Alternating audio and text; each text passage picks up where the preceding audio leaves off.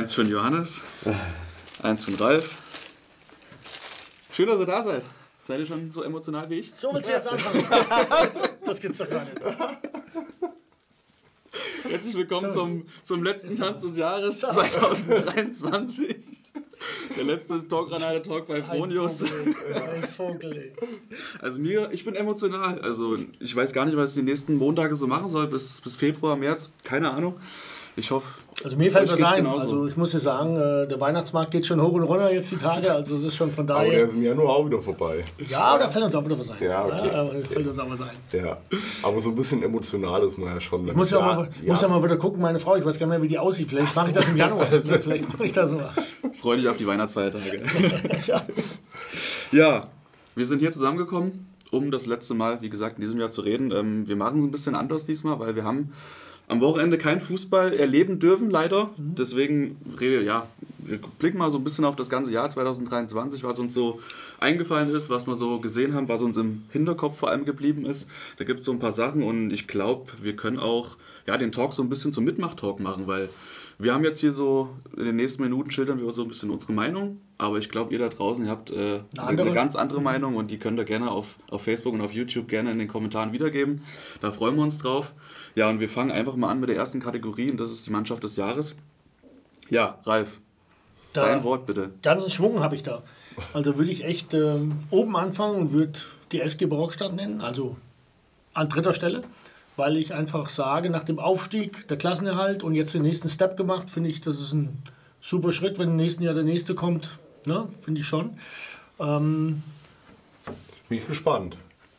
und die Mannschaft des Jahres, rein sportlich gesehen, muss die SG Barzonen 2 sein. Muss die SG Barzonen 2 sein. Also die haben wirklich ähm, im ganzen Jahr 2023 drei Spiele verloren, sind ohne Niederlage Meister geworden, der KOL Süd, führen die Gruppenliga an und haben in 2023 wie viele Tore geschossen? Äh, 112. 138. 163 Tore in 2023. Also das muss eigentlich rein sportlich von, das muss die Mannschaft des Jahres Und sein. wen hast du auf Platz 2? Weil du hast jetzt eben gesagt, bei Barockstadt auf Platz 3. Ja, ich bin, ich bin mir nicht ganz sicher, weil ähm, das eine ist natürlich ein bisschen hochwertiger von der Liga. Also von daher, vielleicht ist das auch die Überraschung des Jahres, ist für mich Eiderfeld-Leinbach. Und zwar die Mannschaft in dieser Saison. Ne, dass die Meister wurden in der Gruppenliga, haben wir eigentlich alle mit gerechnet. Aber ich muss ganz ehrlich sagen, ähm, ich habe gedacht, der Absteiger Nummer 1, das gebe ich ehrlich zu. Und das erste Spiel gegen Eigenzell hat uns ja bestätigt, das 0-3, die Heimniederlage. Und äh, der erste Gedanke war, nachdem ich das Ergebnis gehört habe, okay, das musste Eigenzell gewinnen. Und jetzt sind wir eines deutlich Besseren belehrt worden. Also das ist so die Mannschaft des Jahres und vielleicht auch eine der Überraschungen des Jahres. Und es war auch einer der Streitpunkte des Jahres bei der Torkatarte. So, weil Mhm. Absolut. nach der ersten, nach der ersten Saisonniederlage wurde da einer Feld von dem einen oder anderen Kollegen abgeschrieben. Mhm. Äh, und äh, ich habe eisern dagegen gehalten und habe gesagt, nein, die Mannschaft wird auf keinen Fall was mit dem Abstieg zu tun haben, aber ich gebe dir total recht. Ähm, für mich ist Eiderfeld auch absolut, also nach einem Aufstieg so zu performen, dann eine Liga höher, ist ja wie bei Hünfeld äh, auch Ja. fantastisch im Endeffekt, wie die in der Hessenliga jetzt performt haben. Hätten sie sich jetzt nicht die kleine Durchstrecke mal mit vier Niederlagen am Stück geleistet, die würden ja um Regionalliga-Aufstieg mitspielen, zwangsläufig. Trotzdem Ähm, ist das auch eine Mannschaft des Jahres. Absolut, überhaupt absolut, drüber. weil ne? diese Meisterschaft, wie sie die eingefahren haben, letztes Jahr in der Rückrunde, Mhm. man darf ja nicht vergessen, die haben ja in der Vorrunde teilweise auf Platz 8 gestanden in der Mhm. Verbandsliga-Saison, wurden dann super souverän am Ende Meister. Also auch eine der Mannschaften des Jahres, Borussia Fulda kann man nennen, die eben auch als Aufsteiger in der Liga höher super performen. Äh, ist vielleicht für mich auch Marco Karamatic einer der Trainer des Jahres, Mhm. äh, wenn man die, gibt es die Kategorie? Äh, ja, ähnlich. Okay, okay. aber ähm, da muss ich auch, das ist glaube ich ein sehr, sehr wissbegieriger junger Trainer, Absolut. der sich äh, total orientiert, viel aufsaugt.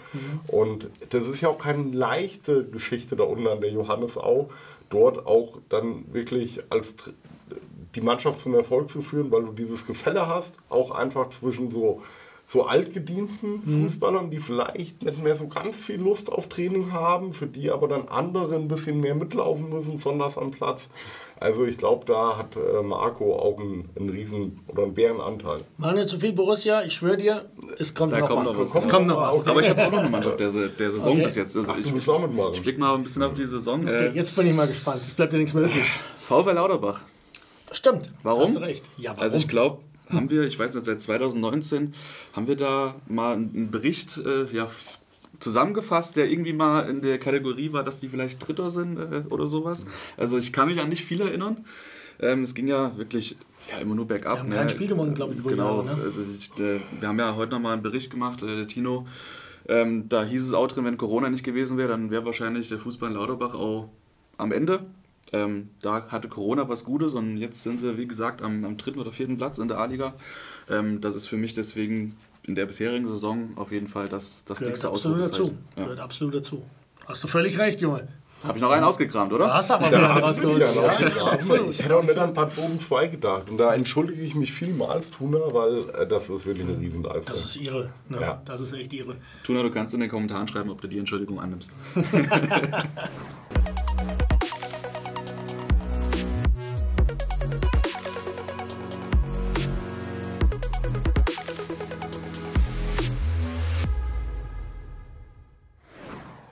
Gehen wir weiter. Ähm, ich würde sagen, wir blicken direkt vielleicht zur Enttäuschung oder zur enttäuschendsten Mannschaft des Jahres.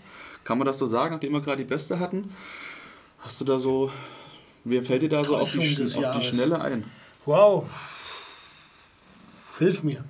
oh, Hilf mir. Es, gibt, hat, er- es ist ja, ist ja eine, ja, eine subjektive Meinung, aber ich äh, hätte zum Beispiel ähm, zwei Mannschaften, die mir dann in den Kopf geschossen sind. Das ist einmal Kerzell Mhm. und zum anderen äh, Bachrhein. Weil es für mich beides am, am Saisonstart zumindest Mannschaften waren, die ich im oberen Drittel in, in ihren Ligen äh, zusammen oder hin- hingestellt hätte. Ne, Wenn wir jetzt bei, bei Kerzell einfach mal schauen, wenn du drei Jungs aus der Verbandsliga von Flieden holst mit, äh, mit Kress, Röhrig und Götze, habe ich gedacht, okay, die werden den Schritt auf jeden Fall in das, in die obere, ins obere Drittel gehen und werden dann sich da etablieren. Und ich glaube, das komplette Gegenteil ist einfach eingetroffen.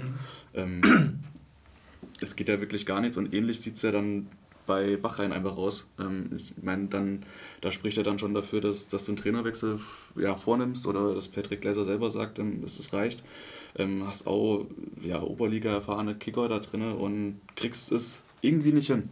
Deswegen, Also ich empfinde Bachrhein als schlimmer als Ketzel, weil ich einfach behaupte, Ketzel hat ähm, letztes Jahr so ein bisschen das Spielglück auf seiner Seite gehabt und dieses Jahr das Spielglück überhaupt nicht auf seiner Seite. Ich glaube, das sind immer enge Spiele. Und ähm, ich glaube, ziehen wir mal letztes Jahr fünf Punkte ab und nehmen wir dieses Jahr fünf Punkte dazu und da kommen wir so langsam wieder in die Richtung. Und ähm, enttäuschend wäre es, wenn Ketzel am Ende da steht, wo sie jetzt stehen. Aber ich glaube, dass da noch was geht. Da muss jetzt mal Marc Röhrig, Christian Kress so ein bisschen in Schutz nehmen.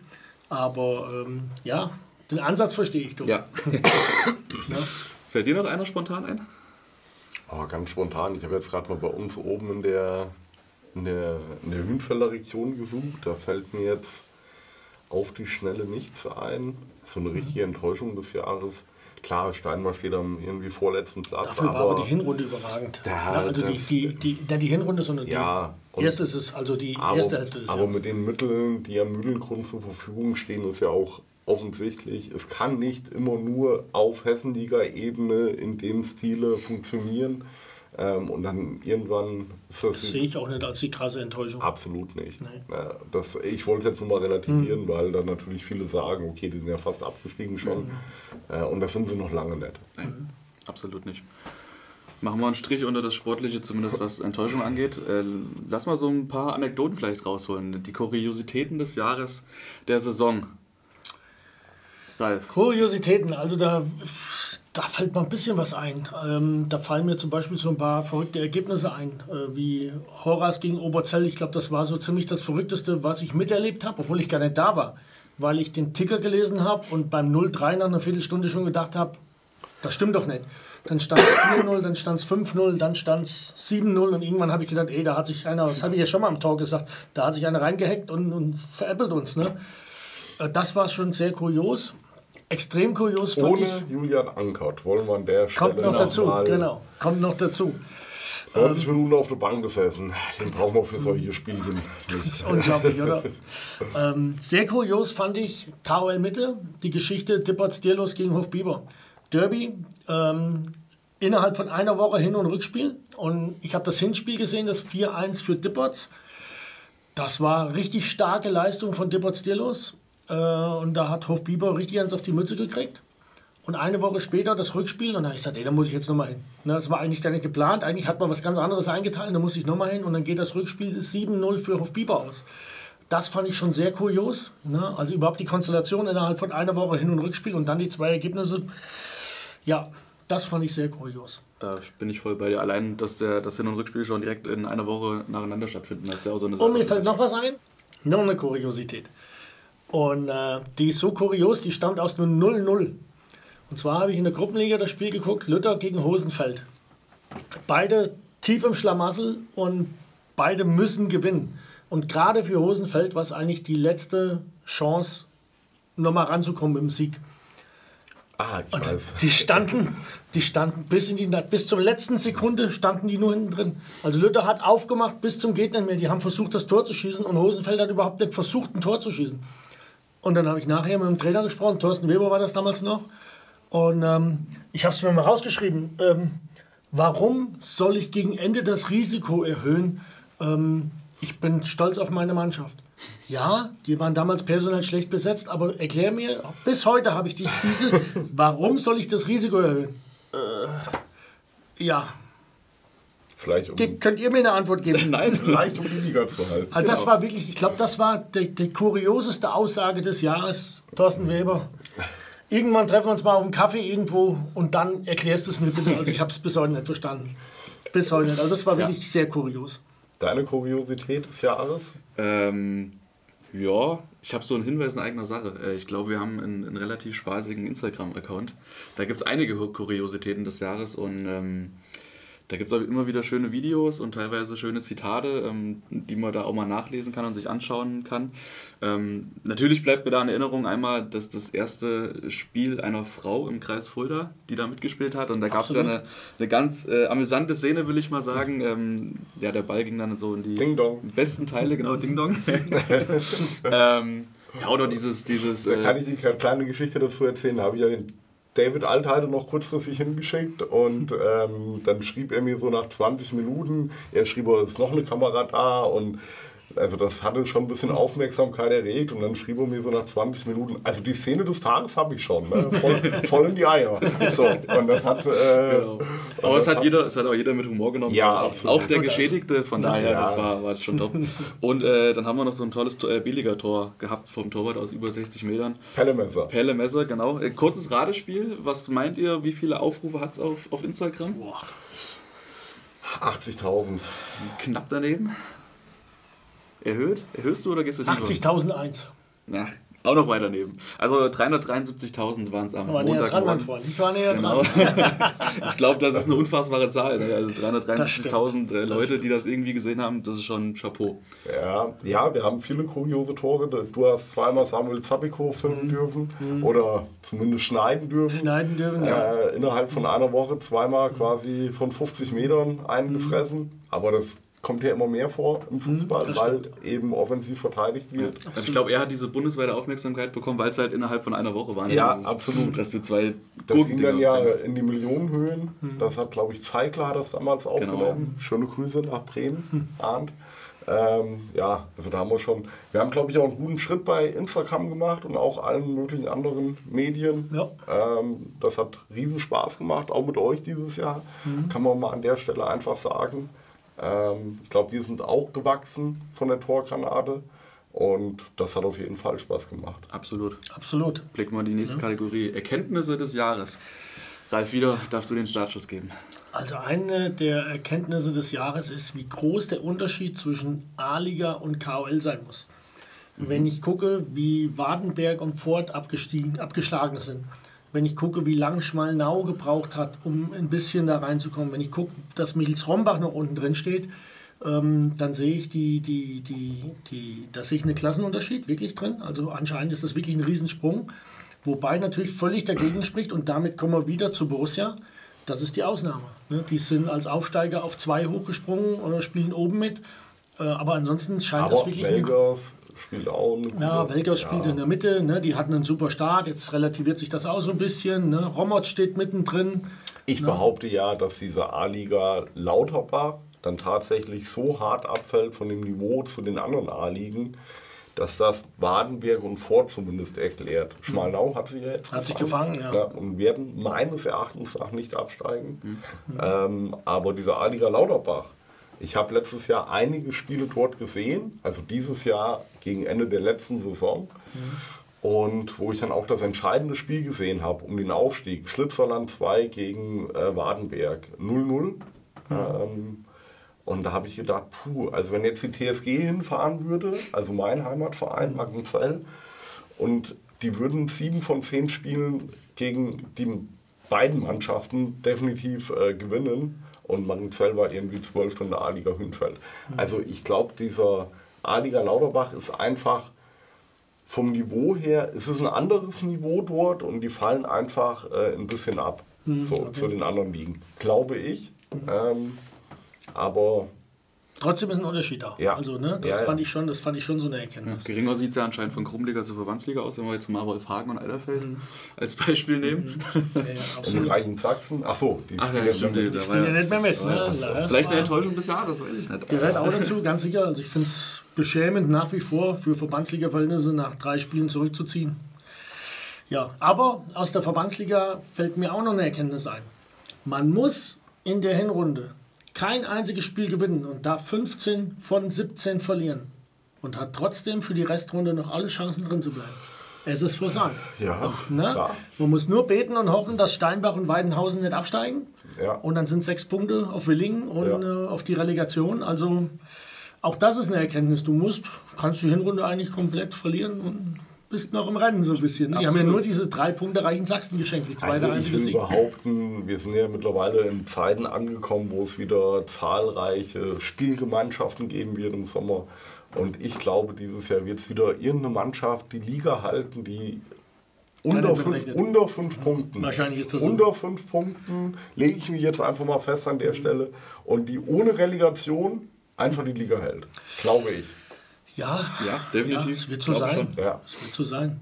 Irgendwas passiert noch im, in der. Wir haben noch eine gute Rückrunde. Ja. Absolut. So, wollen wir Absolut. weiter gucken wieder? Ja, klar. Vielleicht das Spiel des Jahres für euch? Soll ich- Rolf, Ja, komm, fang du an. fang du mal an, komm.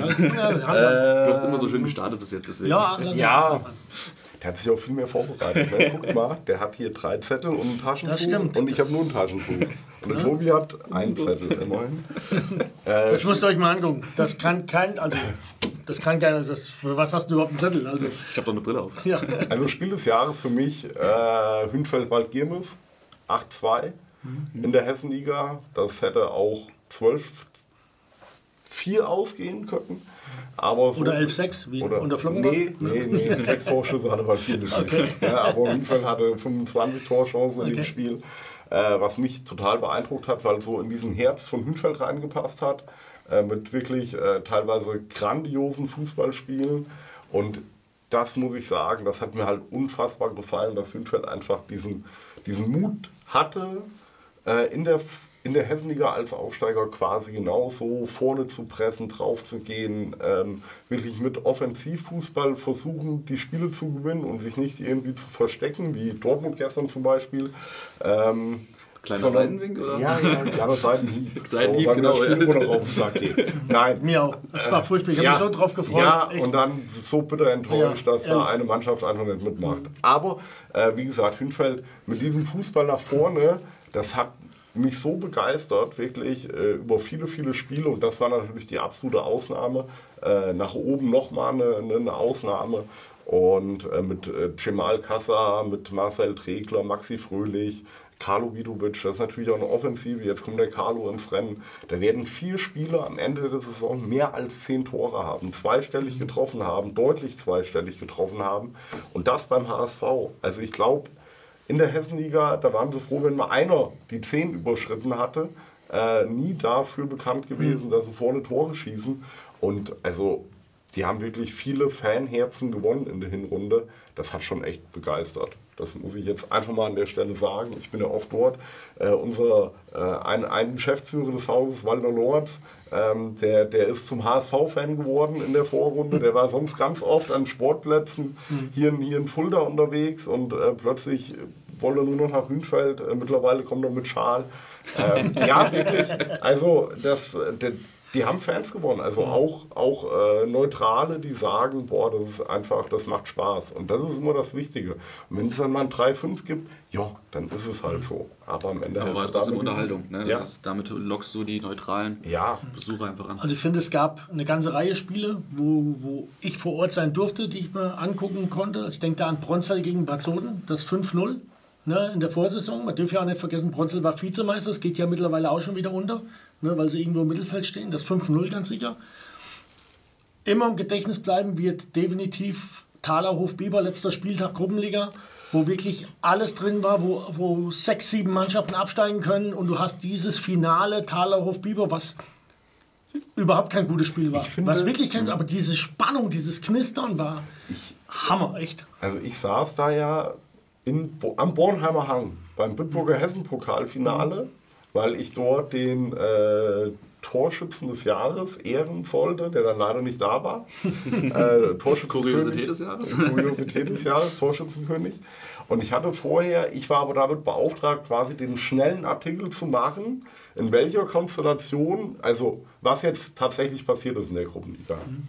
Und ich hatte wirklich drei DIN A4-Zettel voll vorgeschrieben mit den möglichen Konstellationen, weil da war ja wirklich Alles. alles, alles, Mit den direkten Vergleichen und, und, ja, ich habe direkte Vergleiche. Ich glaube, einen ganzen Nachmittag habe ich direkte Vergleiche gerechnet. Und am Ende war es ganz leicht. Du musstest nur die Ergebnisse eintragen, auf die Tabelle drücken und da war es ausgespuckt. Ja, aber, kann aber es, so können wir ja nicht arbeiten. so können wir nicht arbeiten. Ne? So, und der Artikel musste ja irgendwie eine Minute nach Abpfiff online sein. Das war für mich auch, also ich saß auf der Tribüne, äh, Pressebereich, und dann kam Matthias Gast vorbei, Pressesprecher HV, und dann kam der Petro um die Ecke, Petro Atschebes, der hat das Spiel geschrieben für uns, der hat sich dann neben mich gesetzt, ne?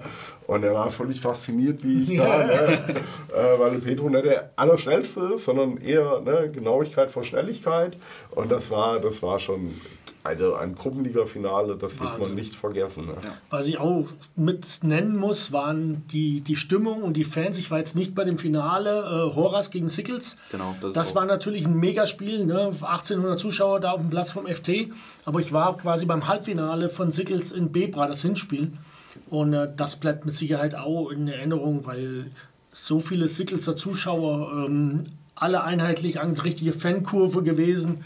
Äh, das war mit Sicherheit, gehört das auch dazu. Absolut. Der Aber das ja Spiel schon- des Jahres bleibt, und da sind wir zum dritten Mal bei dem Thema Germania gegen Borussia. Da bleibe ich bei. Diese Konstellation am vorletzten Spieltag und die Bude voll oben am Galassini-Ring. Endlich mal wieder die Bude voll. Ich, ich bin das ja gewohnt gewesen von früher. Ne? Ihr seid ja alle noch junge Spritzer.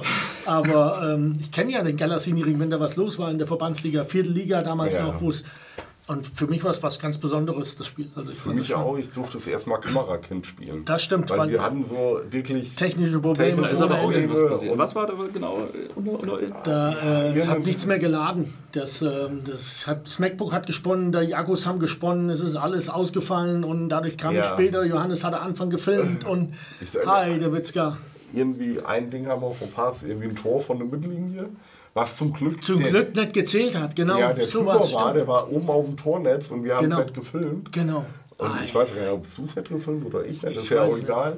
Aber auf jeden Fall, also ich musste erstmal so die Kamera führen, habe hab so gedacht, boah, scheiße, ich war privat. Gar nicht so einfach, ne? Ne, gar nicht so einfach. Und immer den Fokus zu halten, äh, das wird für junge Leute, glaube ich, immer schwieriger, die dann immer sich von allem ablenken lassen. Äh, selbst ich hatte da schon äh, meine Probleme, wirklich nur diesen. Das geht mir ja immer so, wenn du, wenn du das Spiel filmst und die kommen dann, hey Ralf, grüß dich, ne, hau dir noch einen auf die Schulter. Ey, du kannst dich nicht rumdrehen, Ja, ja. kannst Hallo sagen, du musst Ja. auf dem Ding draufbleiben. Ne?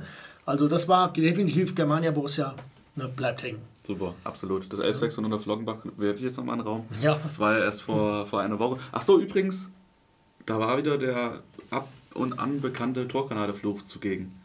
18 Spiele, 16 gewonnen, 2 verloren. Dann haben wir den Bericht gemacht Was haben wir haben sie am Wochenende gespielt? Haben verloren. 1-3 1-3 gegen Darmstadt verloren. Petro, vielleicht weil ein Petro dort war, weiß ich nicht. Also ich habe ganz kurz gestern, Petro hat mir Bilder aus einer Flockenbach geschickt und äh, Tag vorher war er bei ELNC 2 und ich soll schöne Grüße von Tim Mulfinger ausrichten an die Torkanal-Redaktion. Das mache ich jetzt hiermit. Also äh, wenn man wirklich nicht mehr weiß, wo man an welchen Sportplatz man gehen soll, nehmt Kontakt zum Petro Der findet immer was. Der findet Der was. findet immer absolut. was. Das stimmt. Das stimmt. So, machen wir nochmal eine Kategorie, die vielleicht nicht ganz so schön ist und bei der ich mich mal enthalten möchte. Es geht um die unschöne oder unschöne Personalien des Jahres. Jürgen Kraftschek. Ja, definitiv. Also das wäre so mein spontan, Ja. weil ich es einfach absolut bedauerlich finde, wie das gelaufen Wie das ist. gelaufen ist, genau. Ähm, ein weiser Mann hat mal gesagt, als Trainer bist du immer fünf, fünf Spiele vor deiner Entlassung, weil wenn du fünfmal verlierst, beim Jürgen waren es sechs, Mhm. ähm, wenn, wenn du fünfmal verlierst, äh, ist egal wo, du, so, aber das hätte ich mir, Art das, und Weise war nicht die Art und Weise, das hat alles irgendwie nicht zusammengepasst. Man hörte da, dass die Mannschaft eigentlich total hinter dem Trainer steht.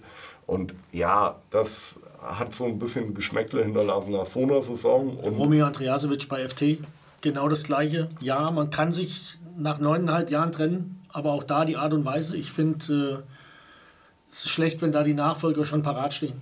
Ne? Das war nicht gut gelöst. Finde ich genauso. Unschön. Ja. Ja, Unschön war auch, muss man einfach sagen, die zwei Trennungen bei der Barockstadt. Äh, Dennis Müller und, und Dominik Rummel. Beide haben einen erheblichen Anteil dran, dass die Mannschaft da spielt, wo sie jetzt spielt in der Regionalliga. Weil die haben nämlich äh, einiges dazu beigetragen. Und da fand ich auch im Nachhinein, wie der, wie der Dennis äh, Müller da nicht mehr zum Zug kam. Ich benutze jetzt kein anderes Wort. Und auch jetzt dass die Trennung von Dominik Rummel äh, finde ich nicht in Ordnung, wie es gelaufen ist. Na, und äh, wir kennen ja auch ein paar interne, also es ist ja nicht so, dass wir gar nichts wissen. Und das finde ich beide Male, fand ich nicht gut. Das muss man auch mal sagen. nehmen wir so mit Ne? und schließen die Kategorie ab und blicken nochmal ganz kurz auf das neue Jahr voraus. Da könnten wir, glaube ich, nochmal jetzt eine halbe Stunde philosophieren, was da passiert. Aber von euch kurze Tipps, in welchen Ligen oder in welcher Liga findet das heißeste Meisterrennen statt? mh, in der Gruppenliga, weil ja keiner so richtig, richtig äh, ran, ran will. So, in der Kreisoberliga Nord wird sich einer von den beiden irgendwann absetzen. In der Kreisoberliga Mitte steht der Meister fest. In der Kreisoberliga Das bin ich mir noch nicht so sicher. Also, du musst erst mal rauskommen. Lass mich erst mal zu Ende reden. Nein, Lass mich erst mal nein. zu Ende reden. In der Nein, KOL nein. Süd, auch wenn du es nicht hören willst, wird Luther auch schon Nein, auch das stimmt nicht. Auch da geht's Lütterhosen fällt auch Rückers noch. Nee, nee, nee, nee, nee, nee. Nein, nein, nein. Das werden, ja, das werden, wollen wir hier mal eine kleine Wette machen. Also Gruppenliga wird äh, das Meisterrennen eh- ähnlich spannend wie wird letztes? Jahr das Abstiegsrennen. In der Gruppenliga. Ja. Ja. wenn du jetzt so, dann lieber Tuna, herzlichen Glückwunsch. Ob es dann zum Aufstieg reicht, das äh, weiß man nicht. Das stimmt. Aber ähm, Dann machen wir es anders. Wer steigt denn auf? Ich enthalte mich. Ich sag Verein Ja, Die der sind jetzt halt ne, die haben Kompakteste Mannschaft. Ja. Ich glaube, die haben jetzt. Personalprobleme überwunden, die sie hatten. Ist ja auch immer nach so einer. Relegation ist natürlich auch immer erst mal ne, schwierig wieder reinzukommen. Ja. Also ich könnte mir das vorstellen. Ja. Ne? Hast du noch einen Vorschlag fürs heißeste Meisterrennen? Ja, also ich bleibe dabei in der KOL Mitte wird es heiß. Ne? Also da sehe ich Sickels, Borussia, Hofbiber. Das kommt drauf an. Hofbiber muss gut aus den Löchern kommen. Ne? Also die, die haben schon auch trotz des Vorsprungs ein bisschen Druck. Äh, und das gleiche sehe ich auch im Süden. Lütter, Rosenfeld, Rückers. Ähm, das sehe ich noch lange nicht gelaufen. Also da sehe ich, sehe ich spannende Rennen vor uns. Gut, jetzt komme ich nochmal mit, einer, mit einer Liga, mit der ihr nicht rechnet. Die A-Liga Hersfeld-Rodenburg. Aha. Okay. Wir sind nämlich zur Winterpause drei Mannschaften mit 40 Punkten ganz oben. Kornberg Roggen Süß, Heinebach Osterbach und Rodenburg Listenhausen. Alle 40 Punkte. Äh, da sag ich, da wird's, da fliegen noch die Fetzen. Auch wenn wir da Das ab und an an. den, den, den Blick so ein bisschen Das vernachlässigen. hört Ich sich gehe an. davon aus, dass Rodenburg wieder Relegation spielt. Da fahre ich so alle paar Jahre gerne zur Relegation hin. Schöne Grüße, Steffen Kamgieser. Äh, Freue ich mich immer, wenn ich da auf der alten Holztribüne sitze. Das saß ich ja dieses Jahr auch schon mal. Ja, Star des Monats genau. mit ähm, Kuiti Mustafi. Und äh, ich fahre dann sicherlich zur Relegation wieder mal hin nach Rodenburg. Gut, So, genug geschwätzt für das heute. Wort zum Montag. Äh, vielen Dank euch beiden, vielen Dank euch da draußen.